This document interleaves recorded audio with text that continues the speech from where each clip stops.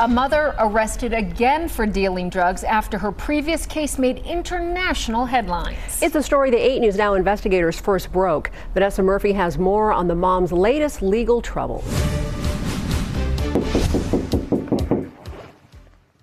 A nine year old boy hands a police officer a bag of more than 100 grams of meth. Well, thank you. So, we were called to come check on your son. Two years after Henderson police arrested the child's mother, Kendra Long, here in July of 2022, she's accused of dealing meth again and violating probation for at least a second time.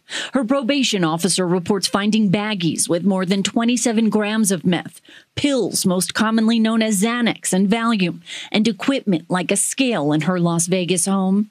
The officer writing Long claimed her ex boyfriend was a member of the cartel and sold meth, and it must have been from him. A similar excuse back in 2022. I have a boyfriend that has access to my front door. Right. I don't know this guy this well. However, this is, I, I, do I give you his name? I don't know what I'm supposed to do. This is not mine. Long was convicted of child abuse and drug charges in connection with this 2022 arrest.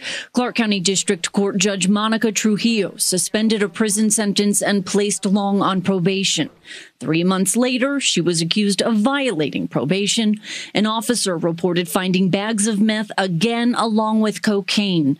She was charged with three more felonies. Instead of prison, Trujillo sent Long to an inpatient drug treatment program. This is not a user. This is someone that's that's distributing and selling. Anthony Cruz is Long's ex-husband. In an interview with the 8 News Now investigators earlier this year, he explained how he was granted sole custody of their son after a hard fight. He also pointed to failures in the criminal justice system after Long was given chance after chance. Even with red-handed, caught red-handed type knowledge, uh, it still doesn't mean anything in the in the justice court there. Now, another judge, Erica Mendoza, is scheduled to decide whether Long's probation should be revoked. The hearing on September 19th, while Long remains in jail facing new charges. Vanessa Murphy, 8 News Now.